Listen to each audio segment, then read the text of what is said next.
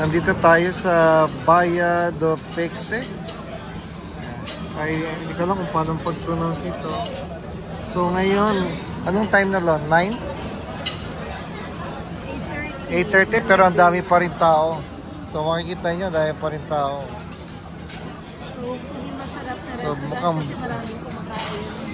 Pakita mo yung in-order natin. So in-order namin to puro mga mixed seafood. Itayo mo para man. Yan. Rodizio de Marisco.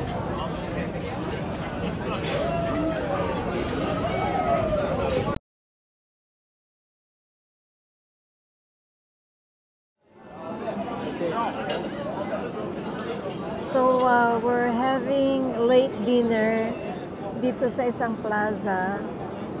Pero it's 9 o'clock in the evening, pero ang dami-dami pa rin kumakain.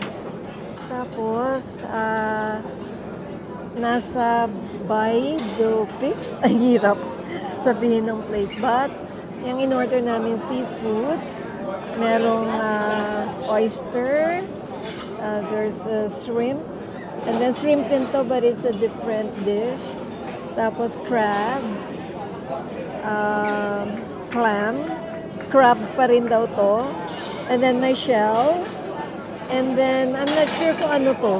Barnacles. What's that? Barnacles. Ano nga yan? Hindi ko alam yan. And then ito, tahong, mussels. Tsaka may, may rice. And itong bread.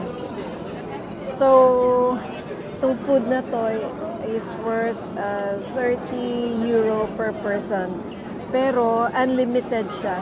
So you can um, reorder and reorder for 30 euro na yon. But I don't think we will reorder kasi parang ang dami-dami na. But, so we'll see.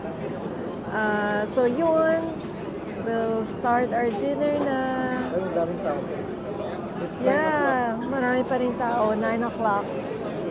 So, and then we waited for uh, 30 minutes for our order. Kasi nga, siguro sa dami ng tao. Okay? So, gutom na kami, kakain na kami.